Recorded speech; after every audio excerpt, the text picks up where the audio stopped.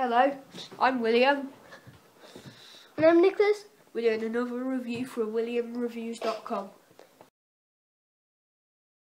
Right, so what is this model called? This model is called Droid Escape. And what's its number? It is number 9490. And how many pieces? It's got 137 pieces. Wow, that's a lot for this size model. So, Well, first let's go over the minifigures like always. yep. Uh, let's go over R2 because I'm going to do a comparison. So here's a new R2. He's got loads of detail, and here's my old R2 from the Lego Anakin's Y-wing 2009. Look at the detail on both of them. It's way more detailed on this one, isn't it? Yeah. So new R2 is is more detailed than the old one. Now, C3PO is going to jump in the screen. It's new. There. And 3PO, this is a new version of C3PO.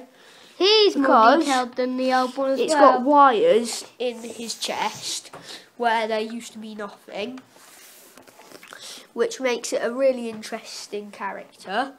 Next, let's go for the Sand Troopers. This That is a? Sand Trooper.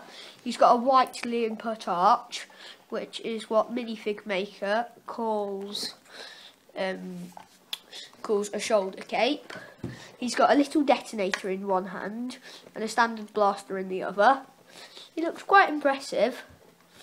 He's got a normal stormtrooper helmet, except if you look really carefully, or if you get this set, you'll notice it isn't, because he's got loads of little sandy bits. He's got an interesting torso. He has he has got a printed back. On. Um, on the back, it has a really nice back torso, but it has a backpack.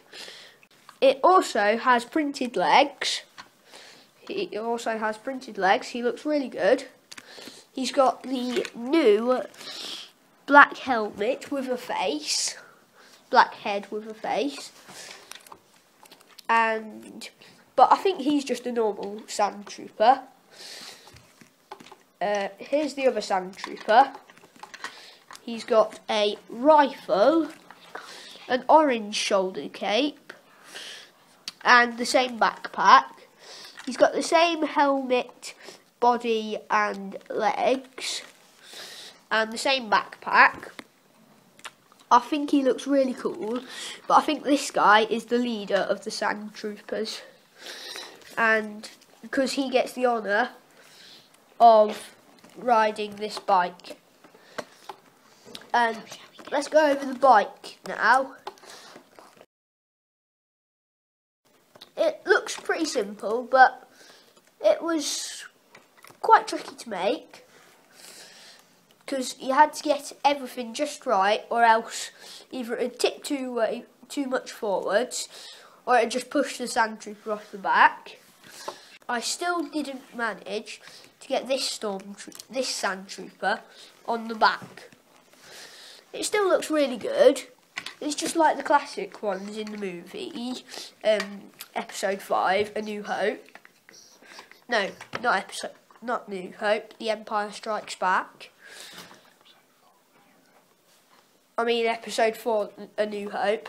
It looks really good.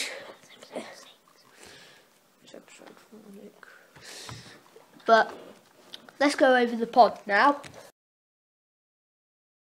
Nicholas, I'll just take these two droids out. I've been seeing how they fit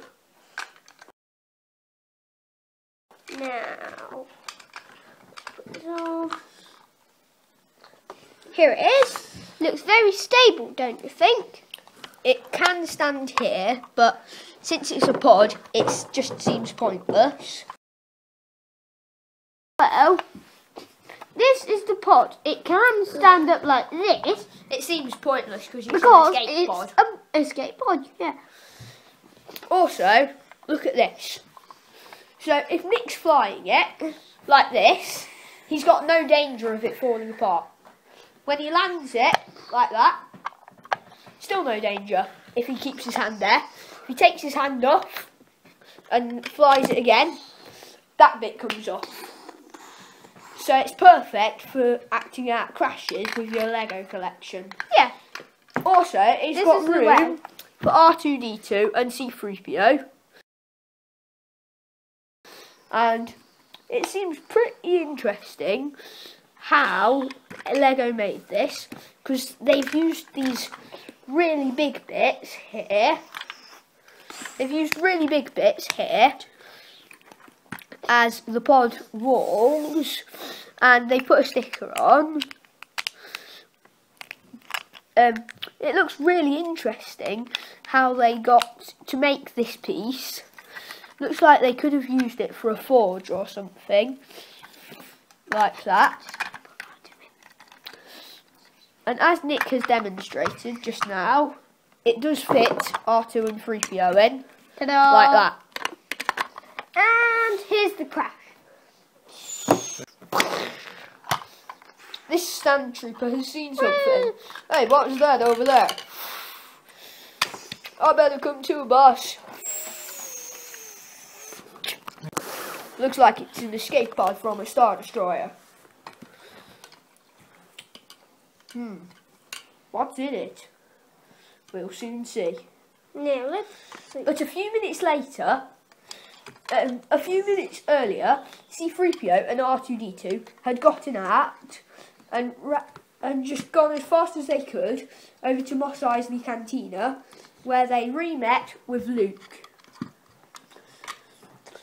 So, will the Sand Troopers find them in the cantina, or, will, they, get away?